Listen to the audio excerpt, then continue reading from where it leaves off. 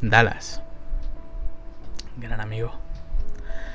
Te prometí a ti Hola gente, soy Vlogs y bienvenidos de nuevo a mi canal. En este vídeo os vengo a hablar de Dallas, Doki y de Melos. En el día de ayer, Doki, que es el esbirro más leal y más fiel come pollas de Dallas Review, subió un vídeo diciendo básicamente que Melos se había aprovechado de Dallas y de él. Quiero aclarar una cosa muy importante. Para poder aprovecharse de una persona, esa persona tiene que ser alguien, tiene que ser importante, tiene que tener una categoría. Sin embargo, Doki, ¿quién cojones se quiere aprovechar de ti? No eres nadie, no eres desarrollador, ni programador, ni influencer, ni tienes muchos seguidores y visitas. Simplemente eres un plagiador de videojuegos. Y como comprenderás, no creo que una persona tenga como meta en su vida imitar a un plagiador de videojuegos. Por lo tanto, Doki, realmente no eres nadie, eres un cero a la izquierda, o sea, aportas lo mismo que la pelusilla del ombligo, o sea, esto. Dicho esto, Doki va mostrándonos en el vídeo bastantes capturas de pantalla de un grupo que había entre Dallas, Doki y Melos. Pero hay una cosa que yo no entiendo. ¿Por qué tenemos que creer las capturas de pantalla que muestra Doki y no podemos creernos las capturas que nos muestra Miare, Oan y demás personas que han estado en contra de Dallas? ¿Por qué las capturas de otras personas sí que están manipuladas? Sin embargo, las capturas que muestra Doki son reales. Eh, ¿Por qué cojones tiene que ser así? Cuando realmente Dallas nos ha enseñado y nos ha mostrado, iluminando a este mundo, cómo se podían falsificar conversaciones de WhatsApp. Incluso el historial, como él matiza. Entonces, si hacemos caso al amo y señor de Doki, no podemos creernos las capturas de pantalla porque todas pueden estar modificadas, en contra de la voluntad de la persona que no esté interesada. Así que apenas empezó el vídeo ya tenemos dos puntos negativos en contra de Doki y de Dallas. Seguidamente argumenta que Melos les mintió, que Dallas le compró un ordenador de 1200 euros para que pudiera trabajar, que Melos no tenía donde caerse muerto, que no tenía estudios, no tenía trabajo, que le iban a desahuciar. Pero sin embargo lo que más le importaba a Dallas en este preciso instante era qué estaba haciendo y por qué tenía el ordenador guardado. Puede que sea verdad o puede que sea mentira, pero cuando una persona que es tu amigo desde hace años te dice que está en una situación mala, que está a punto de ser desahuciado y demás, lo que no tiene sentido ninguno es que solo te interese por qué tiene el ordenador guardado, o por qué está jugando un videojuego, o por qué cojones está haciendo lo que está haciendo. Lo primero sería preocuparse por esa persona y decirle en plan, oye, ¿qué ayuda necesitas? Pero en las conversaciones de WhatsApp, a pesar de decirle eso, Dallas en ningún momento, ni Loki tampoco, les preguntan, oye amigo, ¿qué necesitas? ¿Dinero? ¿Un sitio? ¿Qué es lo que necesitas? También dice que Melos estaba solamente para aprovecharse de la fama de ellos. En el mismo vídeo, Doki dice que Dallas se ofreció a comprarles una casa de 1.600 euros mensuales. Vamos a ver, comprar 1.600 euros mensuales. Algo no me está cuadrando. ¿No será un alquiler? Porque si es una casa que compras y pagas esa cantidad al mes de hipoteca, amigo, no te está comprando una casa, te está comprando una puta mansión en el puto centro de Gran Vía en Madrid. Vamos, no me jodas. Sin embargo, Melos lo rechazó.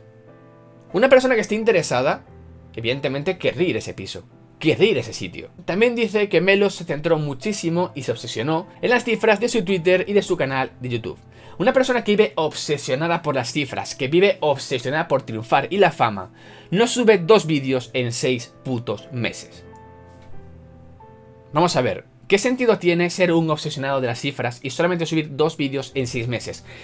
No tiene sentido, no tiene sentido, para nada. Entonces, lo único que yo veo aquí, lo único que veo, aparte después de ver el vídeo de Melos, en el cual se le ve afectado, se ve que le jode, incluso se le ve llorando. Pero cuando tienes un amigo y te quiere joder y te quiere hundir, como es el caso de Dallas hacia Melos, estoy segurísimo de que te jode. Porque tú quieres a esa persona. Y si a mí ahora mismo uno de mis mejores amigos me falla, estaría muy dañado, estaría muy jodido, pero realmente jodido. Entonces es normal que llores. Y es normal sentir impotencia. Porque tú, durante todo ese tiempo, has querido a tu amigo. Y posiblemente lo sigas queriendo, aunque la amistad se haya roto. Sin embargo, Dallas no se ha pronunciado. Dallas dice que está muy afectado y que por ese motivo no se ha pronunciado.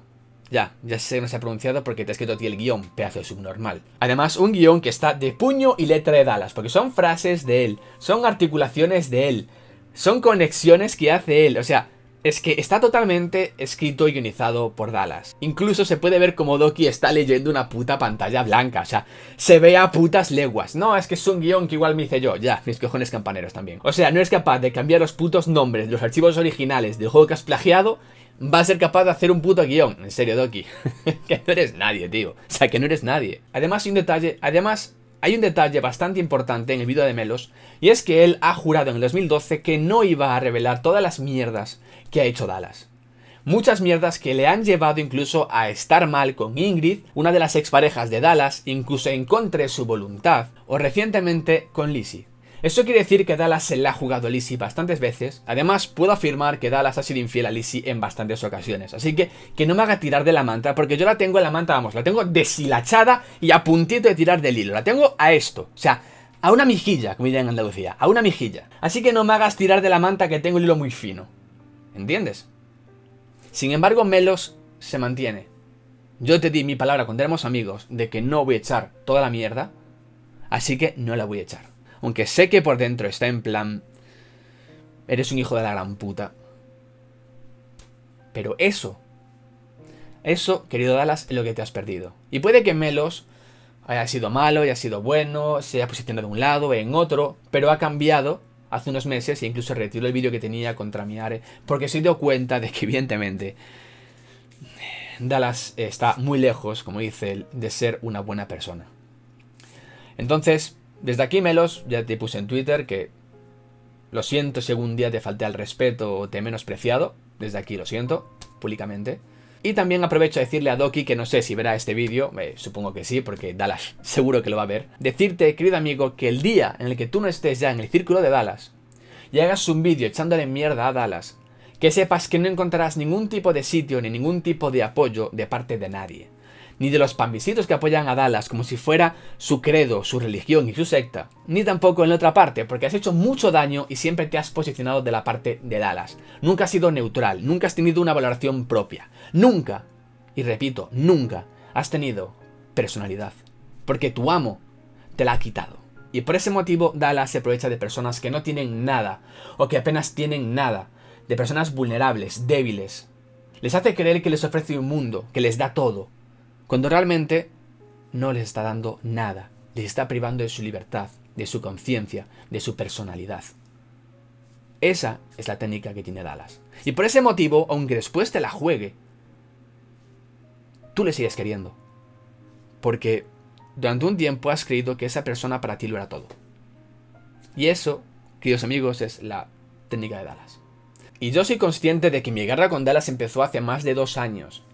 Y evidentemente cuando todas las personas están en su contra, cuando todas las personas que han pasado por su vida se posicionan en contra de él, incluso gente anónima, porque hay mucha gente anónima que está en contra de él y que no se posiciona por miedo a represalias, porque este hombre se dedica a amenazar a todo el mundo, incluso a mí, me ha amenazado a través de correo diciendo que me va a llevar al juicio con abogados y no sé qué putas mierdas más. Y cuando le di el nombre de mi abogado y el correo para que se pusiera en contacto con él, no ha hecho nada. Se cagó encima. Porque dijo, uy, este cabrón me quiere joder. Básicamente porque no tenía ningún tipo de prueba contra mí y sabría que ese juicio estaba perdido desde un principio. Y por ese motivo no se metió. Dallas solo se dedica a amenazar a la gente, utilizando su influencia. Sin embargo, Dallas en la calle no es nadie. Quizá en YouTube tenga millones de personas, millones de visitas, pero en la calle no es nadie. No es absolutamente nadie. Es una persona. Y quizás decir que es una persona se le queda grande. Y hasta aquí el vídeo de hoy. Espero que os haya gustado muchísimo, que me regaléis un like enorme, que compartáis este vídeo y que os suscribáis. Tenéis aquí abajo en la caja de comentarios para dejarme cualquier tipo de opinión al respecto. Y en la caja de descripción tenéis todos mis links y redes sociales para poder seguirme o comentarme todo lo que queráis. Así que dicho esto, muchas gracias por estar ahí y nos vemos mañana en un nuevo vídeo. Chao. Dallas. Gran amigo. Te prometí a ti, hace poco además, otra vez, que no iba a contar tu mierda. Te lo prometí. Y la he contado toda en el vídeo ese. Y no pienso faltar a mi promesa, tío. Porque podéis tú y Doki pintarme de lo que queráis. Podéis pintarme de traidor. Podéis pintarme del peor amigo que queráis ser. Me la suda. ¿Queréis que se vayan los visitos de mi canal? Visitos, por favor, iros de mi canal. No es que yo no os quiera,